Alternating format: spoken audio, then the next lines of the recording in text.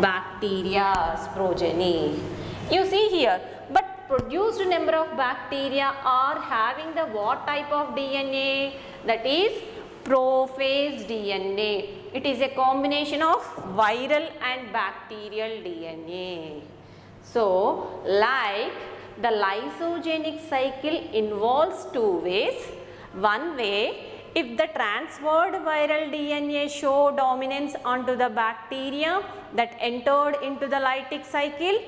In opposite case, if the bacterial DNA show the dominance means they are involved into the replication, binary fission. It means here the genetical modifications are happened here.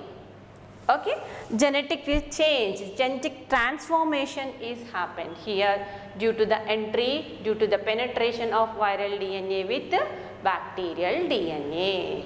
So, these two mechanisms, these two cycles are involved in the multiplication of bacteriophages.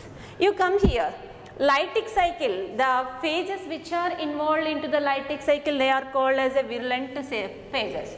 But here the phages which are involved into the lysogenic cycle, they are called as temperate, temperate cycle.